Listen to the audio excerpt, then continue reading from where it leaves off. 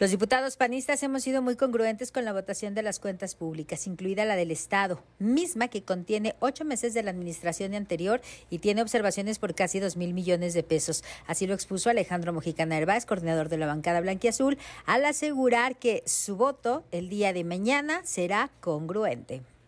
Mira, lo van a ver, ustedes siempre tienen que haber congruencia en el actuar.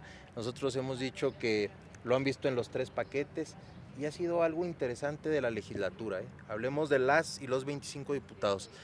Hemos visto desde una parte técnica y por el recurso, el dinero de la población, no tanto por el partido político.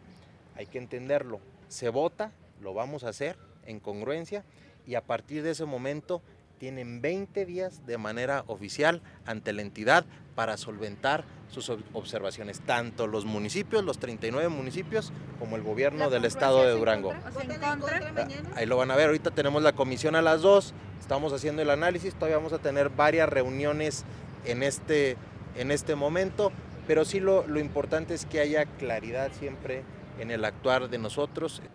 No, no nos adelantemos, ¿por qué? Porque se va a tramitar en la comisión correspondiente.